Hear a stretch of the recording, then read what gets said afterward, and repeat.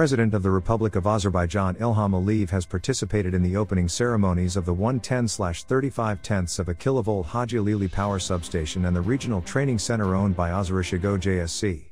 The head of state was briefed by Vugar Ahmadov, the chairman of Azerishig JSC, on the completed works. The electrical grid in Gabala covers a total of 31,502 subscribers. As part of the renovation works carried out by Azerishig in the region, the electrical infrastructure of the city of Gabala, two settlements, and 13 villages has been renewed.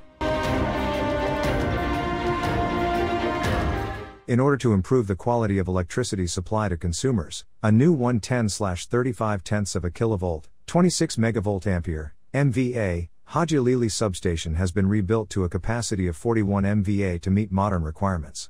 Information was provided to the head of state regarding the restoration and renovation works carried out in the distribution networks during the years 2020 to 2023, the implementation of green and innovative technologies by Azerishig OJSC, and the technical, economic, and ecological efficiency of the reconstruction of the electricity supply to more than 150 residential areas under the 100 Villages project.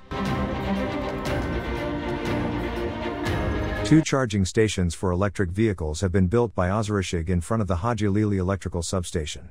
As a result of the implementation of electric vehicle charging stations, it will be possible to reduce the consumption of 230,000 tons of hydrocarbon fuel per year and decrease carbon dioxide emissions by 239,000 tons.